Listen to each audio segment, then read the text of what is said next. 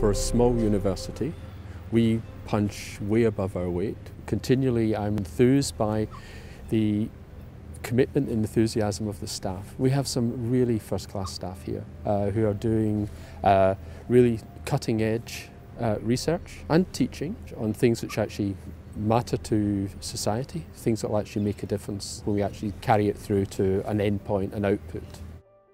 Effectively, what we want to do in the long run is we want to design new drugs that can combat the bacteria's ability to resist the treatments that are currently being used.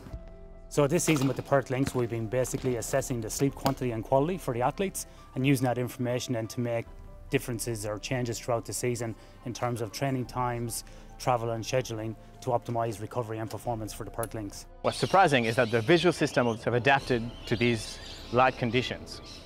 Now this is surprising because these two animals do not spend all of their time underwater there are behaviors that occur underwater that we don't know about. We were able to publish the first paper that showed that um, plants not only emit their own sounds, but also uh, they listening out for the sounds in their environment. And uh, so it gives like a heads up to the plants to like over here, this way.